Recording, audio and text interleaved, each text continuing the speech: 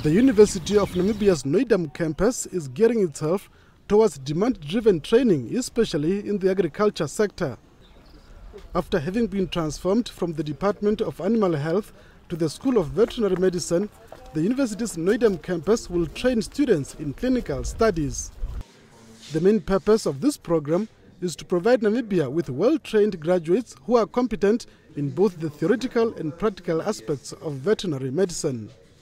The university will continue to do everything within its power to ensure that the students get the best possible training that will enable them to enter the profession successfully. The former president, who is also the patron of the Namibia Veterinary Students Association, welcomed the initiative, saying it will help the country to develop its own human capital rather than relying on expatriates. The UNAM's chancellor noted that the introduction of the new study program will contribute towards food security and self-sufficiency in the country.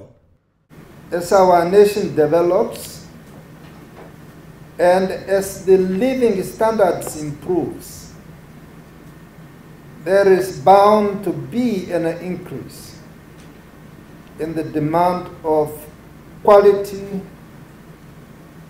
agricultural products from our people and expertise acquired from this facility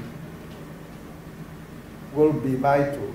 The former head of state therefore encouraged students to work hard to address cross-border animal disease problems confronting the country. About 100 students have enrolled for the veterinary medicine course and where 25 of them are in their fourth year and will now get into the clinical studies program. We are committed and passion driven to work hard in order to become competent veterinarians in the future. Upon our graduation, we aim to contribute meaningfully towards economic advancements in our country and assist with measures aimed at uplifting the livelihood of Namibian people within the mandate of our profession. Jeff Tashomino, NBC News, Windhoek.